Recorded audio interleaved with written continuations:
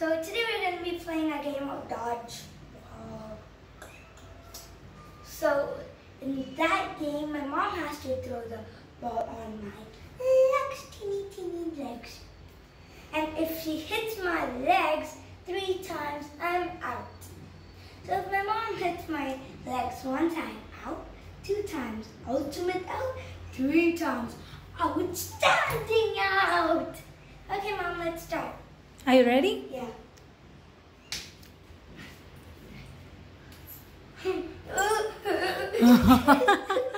I'm out. Okay, it's yet time. Again, I'm not going to let. yes, yes, yes.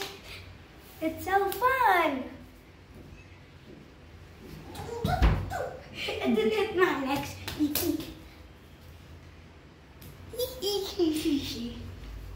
not ready, not ready, not ready.